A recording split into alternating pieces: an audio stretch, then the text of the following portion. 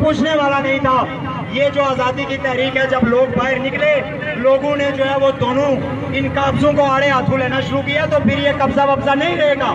اس لیے یہ ضروری ہے کہ دونوں ملک سنجیدہ مذاکرات کریں۔ پاکستان کی پارلیمنٹ، پاکستان کی حکومت جو ہے، وہ عالمی برادری کو، چونکہ یہ فریق ہے مسئلے کے، یہ عالمی برادری کو یہ بتائیں کہ چونکہ مودی نے جو ہے وہ ریاست کی اس پر حملہ کیا ہے، اس لیے کشمیری اپنا کیس خود لڑیں گے۔ کشمیریوں کا سپردھانہ بنایا جائے۔ کشمیریوں کی اقوام متحدہ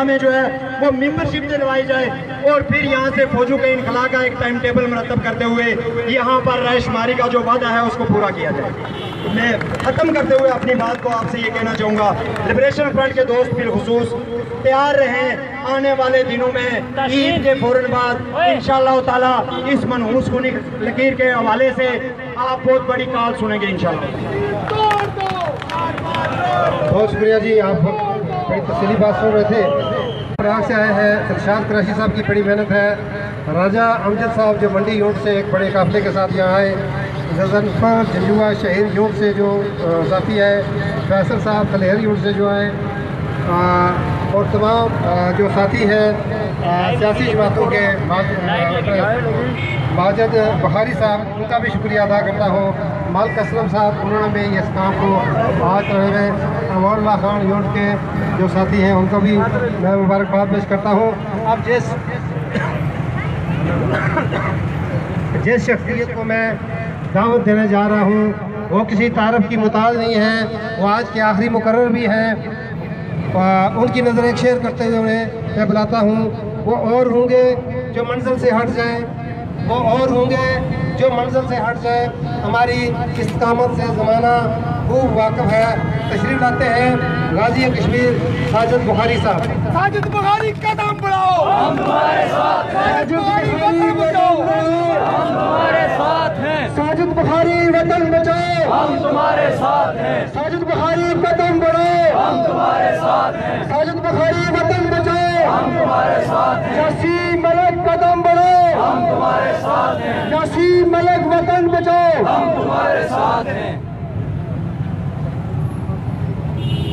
بسم اللہ الرحمن الرحیم۔ میں اپنے وطن کے غیرت مند نوجوانوں کو سلام پیش کرتا ہوں۔ اور اپنے ان بزرگوں اور بچوں کو بھی محبت برا سلام پیش کرتا ہوں جو آج اس قافلے میں شامل ہوئے ہیں۔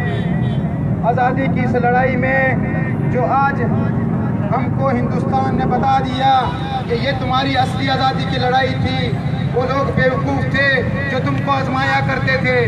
کبھی کہتے تھے تین سو ستر ایسی ہے، کبھی کہتے تھے پینتیس اے ایسی ہے، جبکہ سنتالیس سے لے کر آج دن تک ہمارے ساتھ سلوک غلاموں جیسا کیا گیا۔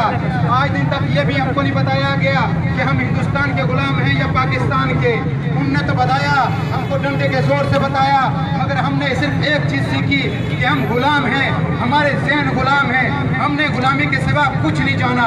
اگر چند لوگ آزادی کی بات کرتے ہیں تو وہ صرف اپنے مفادات کی بات کرتے ہیں، جبکہ یہ سچ نہیں تھا۔ جو آزادی کی بات کرتے تھے، جو خود مختاری کی بات کرتے تھے، وہ تب بھی سچے تھے اور آج بھی سچے ہیں۔ ان کو یہ ان کو یہ بتانے کے لیے اب کوئی وقت نہیں ہے، اب کوئی ضرورت نہیں ہے۔ کیونکہ ان لوگوں کو یہ سمجھ جانا چاہیے کہ جو آزادی کی بات کرتے تھے، جو خود مختاری کی بات کرتے تھے، وہ اس قوم کے وہ بیٹے تھے جو اس اس قوم کو اپنی قوم سمجھتے تھے، اپنے وطن کو اپنا وطن سمجھتے تھے اور اپنے وطن کی غیرت کو سمجھتے تھے، اپنے وطن کی عزت کو سمجھتے تھے۔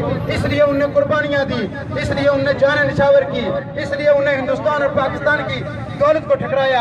اس لیے ہندوستان اور پاکستان کی ہر آزمائش کو انہوں نے قبول کیا۔ اب دوستو یہ بتاؤ کیا ہم گھر نہیں بنا سکتے؟ کیا ہم کاروبار نہیں کر سکتے؟ سب کچھ کر سکتے ہیں مگر خدا کی قسم اس قوم کی عزت کی قسم میں اپنی قوم کے لیے ہر قربانی دینے کا تیار ہوں۔ کیونکہ مجھے پتا ہے کہ ہم جس قوم کے ہیں وہ قوم آج غلام ہے۔ ہندوستان اور پاکستان کی۔ یہ جنگ ہے جنگ یہ جنگ ہے جنگ یہ جنگ ہے جنگ خدا کی قسم کر کے کہتا ہوں میں کسی مسلم کانفرنس کے ساتھی کو، کسی مسلم لیگ مسلم لیگ نون کے یا کسی اور ساتھی کو اور یقین کر کے نیشنل کانفرنس والوں کو، کسی کو بھی میں یہ نہیں کہتا ہوں کہ تم غلط ہو، مگر میں یہ ان کو یہ سمجھانے کی ضرور کوشش کروں گا کہ یہ وطن ہمارا ہے اور ہندوستان اور پاکستان ہمارے نہیں، یہ قوم ہماری ہے اور ہندو اور مسلمان ہماری قوم نہیں۔ کیوں؟ کہ ہمارے وطن میں آپ دیکھو ہندو بھی بستے ہیں سکھ بھی بستے ہیں عیسائی بھی بستے ہیں۔ آپ دیکھو ڈوگرے بھی ہیں۔ یہ کس پاکستان والوں کی ہماری قومی شناخت ہے؟ اور یہی ہماری قوم ہے اور یہی ہمارا ملک ہے۔ دوستو یہ وطن ہمارا ہے۔ اس کی ذاتی کی جنگ ہم کریں گے۔ اس کا فیصلہ ہم کریں گے۔ اس پہ حکومت ہم کریں گے۔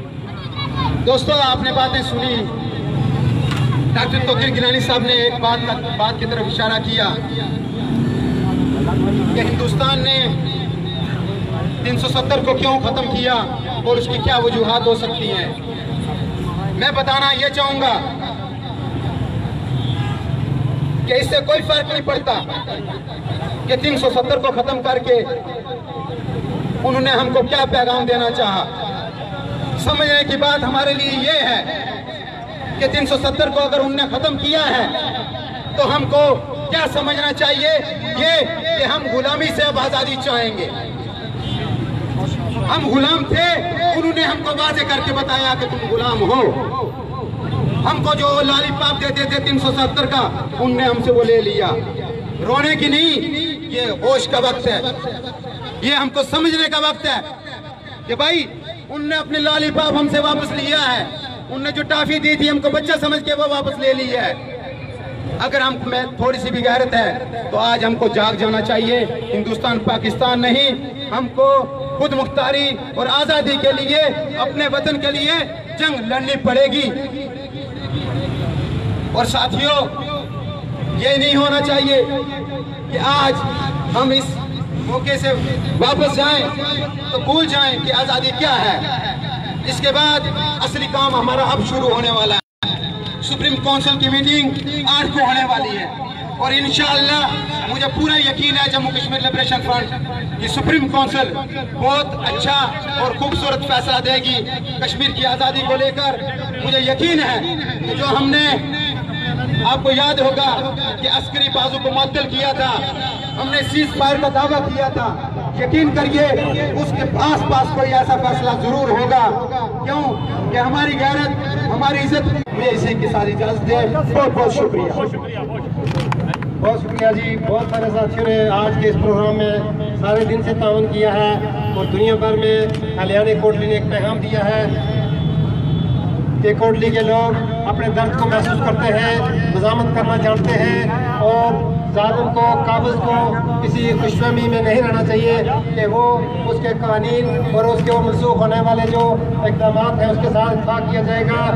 ظالم کو، قابض کو سمجھ جانا چاہیے کہ تاریخ نے گنگا ہائی جیکشن بھی دیکھی، تاریخ نے ماترے کا قتل بھی دیکھا، تاریخ نے پچھلے تین سالوں، تیس سالوں سے وادی کشمیر کے اندر سراپا احتجاج ہوتے ہوئے دیکھے ہیں۔ اور میں پھر پیغام یہ دینا چاہتا ہوں۔ آج راجہ عبد الرشید صاحب چڑوئی سے آئے۔ میں سے معذرت خواہ ہوں کہ ان کو میں وقت نہیں دے سکا۔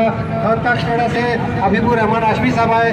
میں ان کا شکریہ ادا کرتا ہوں اور خوش آمدید کہتا ہوں۔ غازی کشمیر، فاروق راجہ صاحب، میں ان کا شکریہ ادا کرتا ہوں۔ یہاں نے میں خوش آمدید بھی کہتا ہوں اور معذرت خواہ ہوں کہ میں ان کو وقت نہیں دے سکا۔ امان اللہ خان یور مندر ملا کے لوگوں نے بھی بھائی خاصی کنٹریبیوشن کی ہے۔ جن لوگوں نے مختلف جماعتوں سے چاہے وہ نیشنلسٹ ہیں یا یہاں کے تاجر تھے، انہوں نے آج جو تعاون کیا۔ آج کے اس پلیٹ فارم سے میں ان کا شکریہ ادا کرتا ہوں۔ میں مہاجر بخاری صاحب کا بھی شکریہ ادا کرتا ہوں۔ مالک اسلم صاحب میڈیا ایڈوائزر عدیل ملک صاحب اور انتظامیہ نے جو آج ہمارے ساتھ تعاون کیا، وہ ایک مثالی تھا، پولیس کا تعاون بھی مثالی تھا۔ میں ذاتی طور پر ان کا شکریہ ادا کرتا ہوں۔ مجھے صبح سے اس وقت تک وہ روڈ پہ کھڑے ہوئے ہیں۔ مجھے نہیں لگتا کہ انہوں نے دوپہر کا کھانا کھایا ہوگا۔ تاجروں کا بھی شکریہ ادا کرتا ہوں۔ آج کا سارا دن انہوں نے تاریخ آزادی کشمیر کے نام کیا بہت بہت شکریہ۔ میں اپنی طرف سے راجہ امجد منڈی صاحب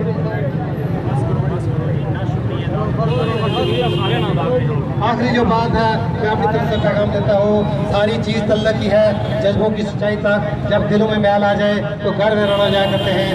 بہت بہت شکریہ۔ وفا علیہ نبی بنتی ہے کی منسوخی۔ نامنظور نامنظور ہے کی منسوخی۔ نامنظور نامنظور ہم کیا چاہتے ہیں؟ آزادی۔ ہم کیا چاہتے ہیں؟ آزادی۔ اس بار بھی لیں گے۔ آزادی۔ اس بار بھی لیں گے۔ آزادی۔ میرے مولا دے جائے